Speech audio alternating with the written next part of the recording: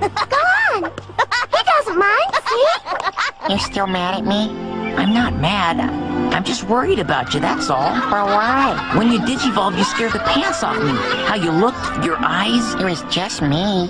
But you barely even knew who I was. What if one day you, like, quantum digivolved and totally forgot me? Or who you used to be?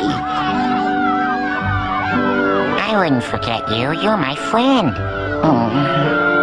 No matter how much you change, you're still you. And no matter how much I change, I hope you know I'm still me too. Okay? Guilmon, Yeah? you are totally amazing. It's like it was only yesterday that you were thinking and talking like a baby, but look at you now. You see things so clearly, maybe even better than I do sometimes. I get it all from you, Takato. You know what? I wish I could change too. Takato Digivolve! Takato Digivolve 2! Mega Takatomon! Guilmon, I'm sorry for acting all weird, you know, yesterday.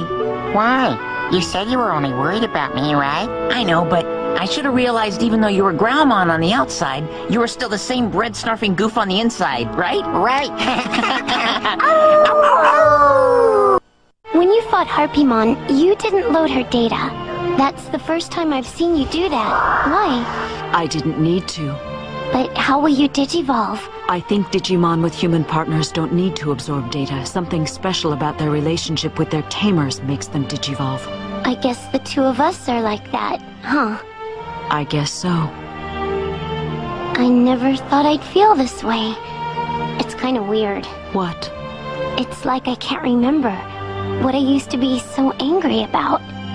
I don't even feel like poking fun at Takato and Henry's silly Digimon anymore. Huh. You're right. That is weird. Oh, that building I was in? I don't like it after all. There's something funny about it. Something not nice. Yeah.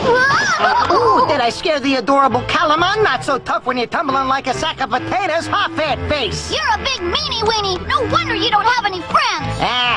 Good are friends? You run around being all cute and friendly, and what's that done for you? You can't even digivolve. No tamer wants you as a Digimon. They just put up with you because you're, what's the word I'm looking for? Oh, yeah, pathetic. Impmon, is there anyone you do like? Meh, you pretty much all make me sick. What a young Digimon like you needs isn't friends, but some good advice, and it's your lucky day, cause I'm in the sharing kind of mood. Life, my friend, is all about the survival of the fittest. That's when the best and the brightest, that's me, wipes the floor with the making a week, that's you. So if I blast you to Kingdom Come and absorb your data like I'm planning on doing, don't take it personal, it's nature taking its course. Hmm.